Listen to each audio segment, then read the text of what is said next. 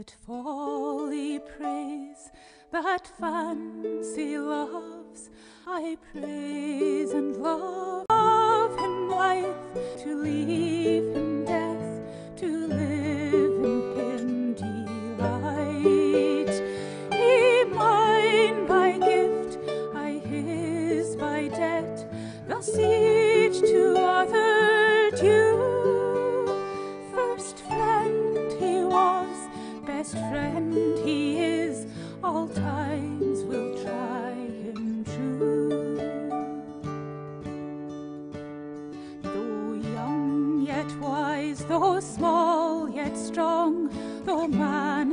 God he is. As wise he knows, as strong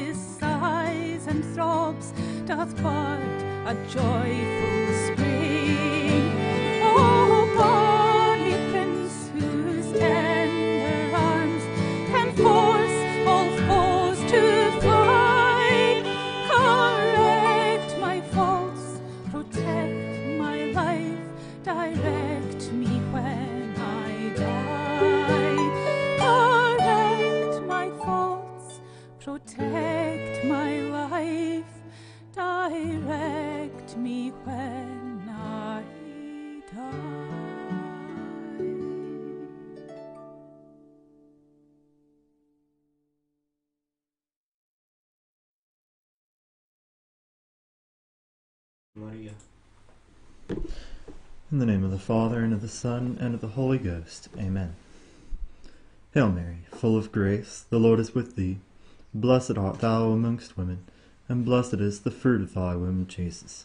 Holy Mary, Mother of God, pray for us sinners now and at the hour of our death. Amen. By thy immaculate conception, O Mary, make my body pure and my soul holy. My mother, preserve me this night from mortal sin. Hail Mary, full of grace, the Lord is with thee. Blessed art thou amongst women, and blessed is the fruit of thy womb, Jesus. Holy Mary, Mother of God, pray for us sinners now and at the hour of our death. Amen. By thy immaculate conception, O Mary, make my body pure and my soul holy. My mother, preserve me this night from mortal sin. Hail Mary, full of grace, the Lord is with thee, and blessed is the fruit of thy womb, Jesus. Holy Mary, Mother of God, pray for us sinners now and at the hour of our death. Amen. By thy immaculate conception, O Mary, make my body pure and my soul holy.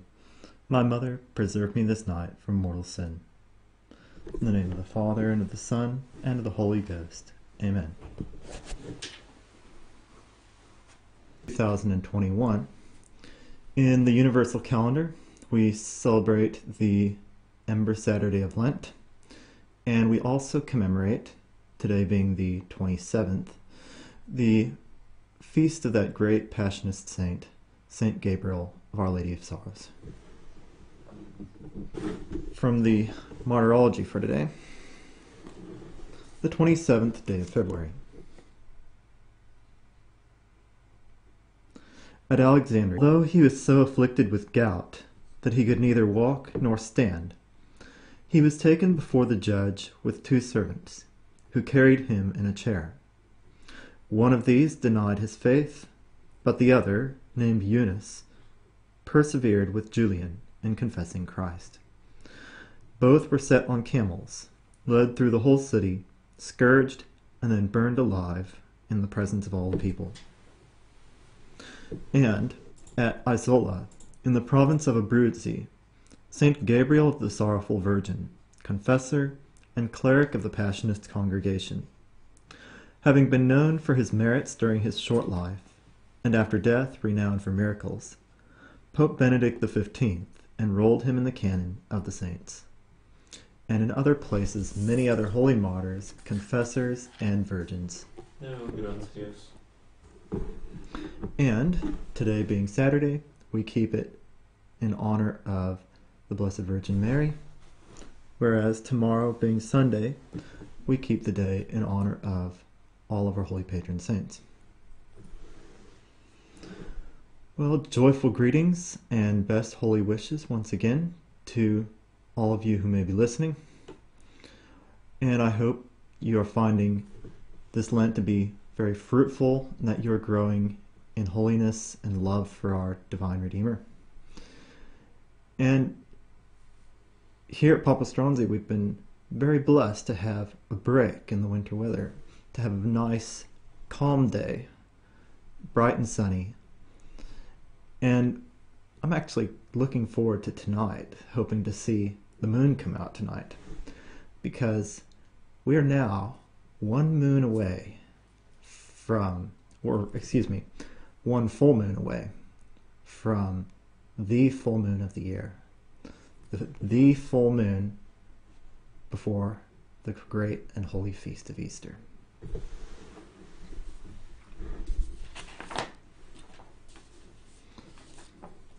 The first notice for today is taken from the Glories of Mary by our Holy Father St. Alphonsus. The first part on the Salve Regina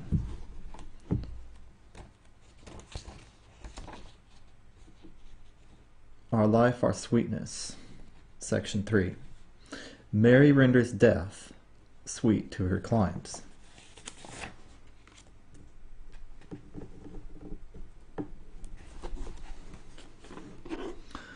Oh, how great are the sufferings of the dying!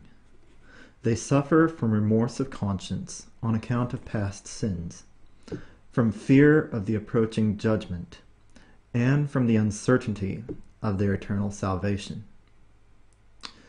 Then it is that hell arms itself and spares no efforts to gain the soul which is on the point of entering eternity.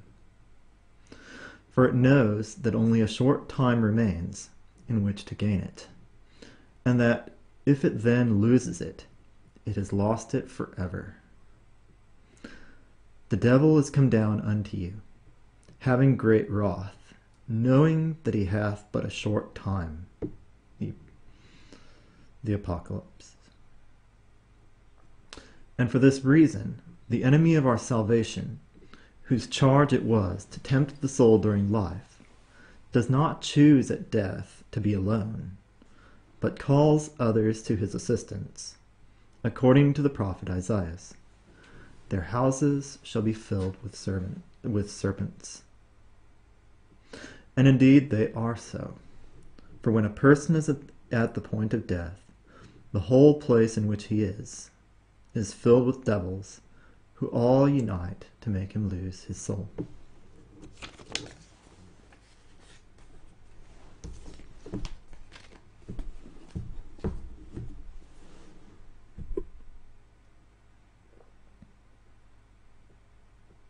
Hail Mary, full of grace, the Lord is with thee.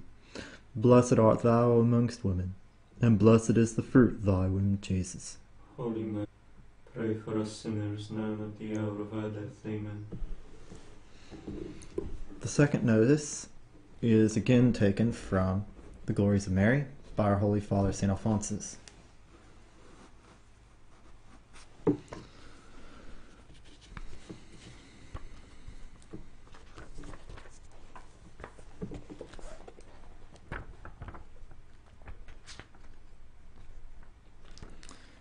From the second part, treating of the principal feasts of Our Lady, of Mary's Immaculate Conception.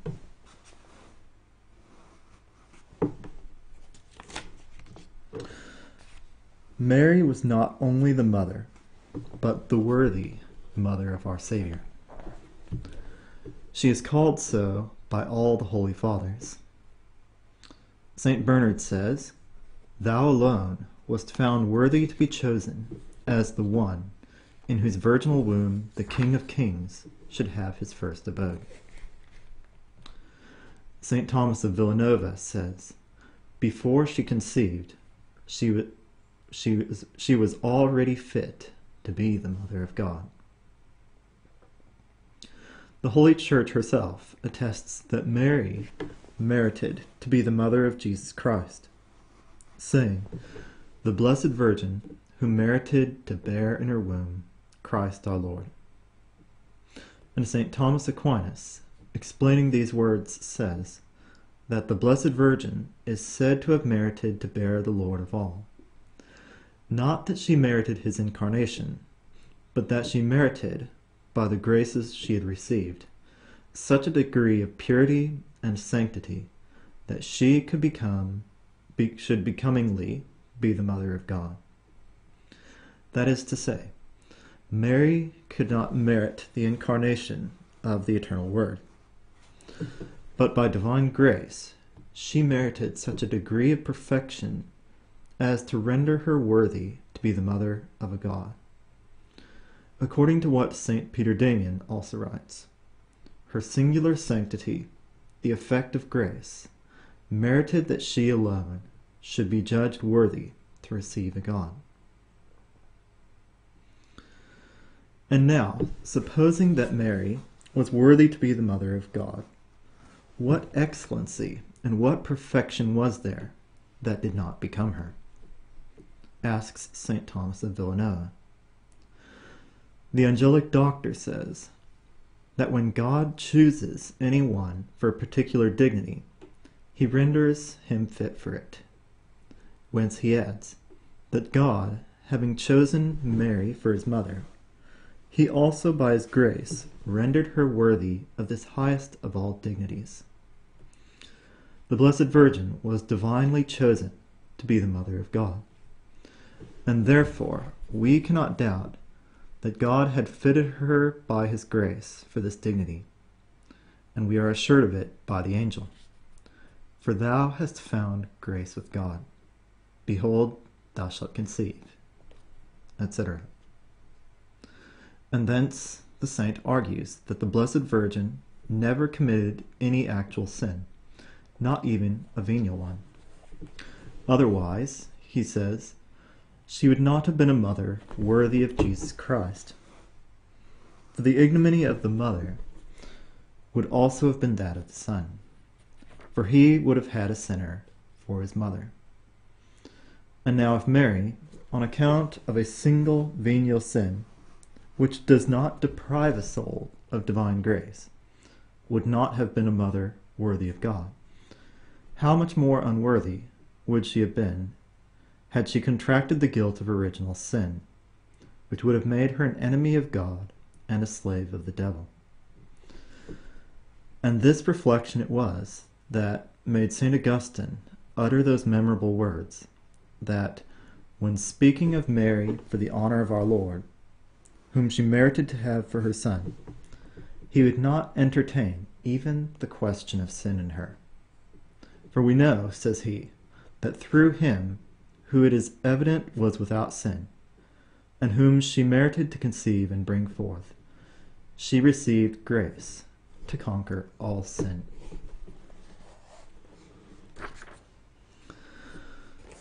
So I'd like to draw your attention to this point that St. Thomas Aquinas says that when God chooses anyone for a particular dignity, he renders him fit for it. Notice first of all that it's when God chooses anyone. This is really important.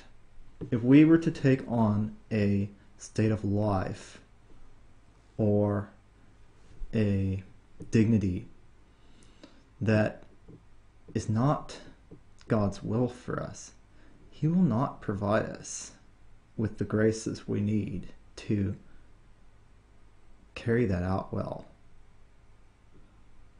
But, and so it's really important, especially if we are discerning to take on a state of life, that we pray for the lights we need to uh, choose what what he what his will is for us.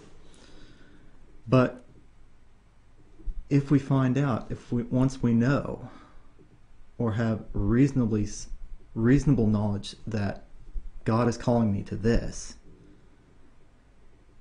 it may be something that you'd be tempted to shrink from. May be something that you feel you're not capable of doing, but he will give you the graces to be able to do that. And He will fit you out for that state if you ask Him to. And we can see that He's done that here with Our Lady. He chose her for the highest dignity that any human being could ever have. And to be able to, for her to be able to carry that out, He fitted her with everything she needed.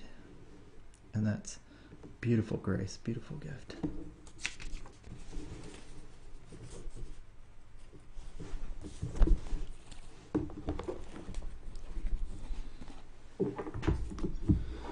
So, after these notices, we will have the Holy Rosary, followed by the breastplate prayer of St. Patrick and the exorcism of St. Michael and the guardian angels, and then we'll have devotions following that. So, one of the saints who's mentioned in the martyrology for yesterday, the 26th of February, was Saint Porphyry, confessor and bishop of Gaza in Palestine. So, who was this holy bishop? Saint Porphyry was originally from Thessalonica in Macedonia. He was from a rich and noble family, and at the age of 25, he left the world and went to Egypt and entered a monastery in the desert of Skete. So he joined the Desert Fathers back when they were going strong. This would have been in the 300s. After five years of a rough and penitential life, he made a pilgrimage to Jerusalem to visit the holy places. And after that, he spent several years in solitude near the River Jordan. Sickness eventually forced him to return to Jerusalem, though. But this did not stop him from continuing to visit the holy places in Jerusalem every day. Every day, he was too weak to stand without a walking stick, so, staff in his hand, he would drag himself to the Holy Sepulchre and all the other churches and oratories where that marked the places sanctified by the life and death of our divine Redeemer. When his disciple and future biographer Mark offered to assist him one day to climb the stairs leading up to one of these churches. He replied to him. St. Porphyry replied, saying, It is not just that I, who am come hither to beg pardon for my sins, should, but, should be eased by anyone. Rather, let me undergo some labor and inconvenience, that God, beholding it, may have compassion on me. And so, in this state, this state of deep sickness, St. Porphyry continued to faithfully keep up all of his exercises of devotion, persevering in these visits to the holy places, making frequent communions, and maintaining an unshakable confidence in God.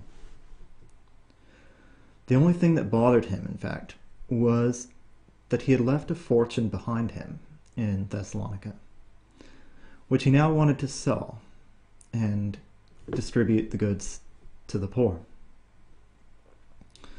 So he sent his disciple Mark off to Thessalonica to sell the property and bring the money back to Jerusalem, where he would then be able to give it out to the poor. When St. Mark came back, he found he could hardly recognize St. Porphyry, who had been restored to perfect health. So, what happened? St. Porphyry tells us 40 years ago, or excuse me, 40 days ago, being in extreme pain, I made a shift to reach Mount Calvary, where, fainting away, I fell into a kind of trance, or ecstasy, during which I seemed to see our Savior on the cross, and the good thief in the same condition near him. I said to Christ, Lord, remember me when thou comest into thy kingdom. Same words as the good thief. Whereupon he ordered me ordered the thief to come to my assistance, who raising me off the ground on which I lay, bade me go to Christ. I ran to him, and he, coming off the cross, said to me, Take this wood, meaning the cross, take this wood into thy custody. In obedience to him, methought I laid it on my shoulders, and carried it some way. I awakened soon after, and have been free from pain ever since, and without the least appearance of my ha- ever having ailed anything. St. Porphyry. So, having been restored to health, St. Porphyry was soon called to take up another cross, coming not directly from Christ, but through his representative, the Bishop of Jerusalem. Against his wish, the bishop ordained St. Porphyry to the priesthood, and he entrusted him with the care of a very precious relic, the relic of the true cross. Three years later, though, he had to give it up and to take up another cross the appointment of Bishop of Gaza. Our divine Redeemer appeared to him at this time and told him this Give up the treasure of the cross which you have in custody, for I will marry you to a wife, poor indeed and despicable, but of great piety and virtue. Take care to adorn her well, for however contemptible she may appear, she is my sister. At Caesarea, the archbishop there consecrated St. Porphyry, bishop of Gaza. Again, against his wish, he basically had to be dragged into the church to be able to do that. He met with a lot of opposition once he arrived in his episcopal see because paganism was still very strong there. And before long, the pagans were blaming him for a terrible drought. So St. Porphyry led the Catholics out of the city on a penitential procession to ask for rain. But when they arrived back, they found that the pagans had locked the gates and wouldn't let them in. So, St. Porphyry and the Catholic faithful redoubled their prayers, and before long, down came the rain. The gates were opened to them, and many of the pagans were converted, but not all of them. And those who remained started stirring up lots of trouble. So St. Porphyry decided to enlist the help of the emperor to get rid of paganism for good. When the emperor's representative arrived, St. Porphyry met him at the harbor, and they went in procession to the city. And as they were on this procession, they were passing by this famous oracle, the statue of Venus. But as they passed by it, down it came, crash, and smashed to pieces on its own. So, f- shortly after that, the emperor's representative fell to work and, under the guidance of St. Porphyry, and very soon, all of the pagan temples in the city were destroyed, along with all the idols and all the books of magic. St. Porphyry, assisted by the emperor, built a beautiful church on the spot where the chief temple had been, and he spent the rest of his life zealously fulfilling all the duties of his office in that city, where nearly all the remnants of paganism had been abolished. He died on 26th of February in the year of our Lord 420, and his biographer says of him, He is now in the paradise of delight, interceding with us, inter- interceding for us with all the saints, by whose prayers may God have mercy on us. There's a lot that could be said in connection with St. Porphyry. But the point that most stands out is this Semper idem, always the same. In sickness or in health, in the face of opposition or with support, St. Porphyry persevered in all of his prayers, in his du- all of his duties, and in his exercises of devotion. And this reminds me of the question that was put to St. John Berchmans. shows up in St. Alphonsus in the Glories of Mary. What is the best devotion to the Blessed Virgin? And the reply of St. John Berchmans anything, no matter how small, as long as it is what? Constant. Constant. It is not how many devotions you start that matters. It is not whether you start well that matters.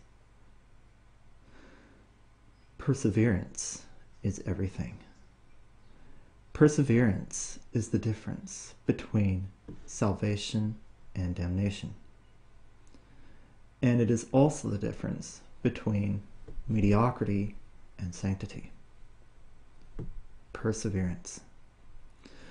But this perseverance is only granted to those who ask for it. So you don't have to pile up lots of devotions. You don't necessarily have to drag yourself around visiting all the holy places in Jerusalem. But you have to pray. And especially pray the three Hail Marys. Every morning, every night. Persevere. Persevere in praying the three Hail Marys. Your salvation and sanctity may hang on whether you persevere in this one, not many, but one devotion. Even if you are not like St. Porphyry, able to maintain all of the devotions that you start, make the effort to persevere in this one, because a child of Mary can never be lost. May our divine Redeemer and our Mother of Perpetual Succor bless you abundantly. The Holy Rosary will follow in a few minutes.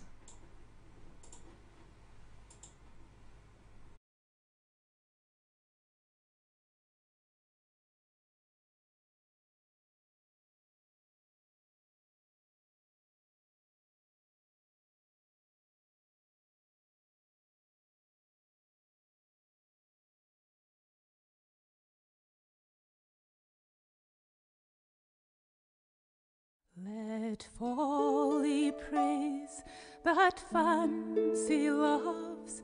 I praise and love that child whose heart no thought, whose tongue no word, whose hand no deed defiled.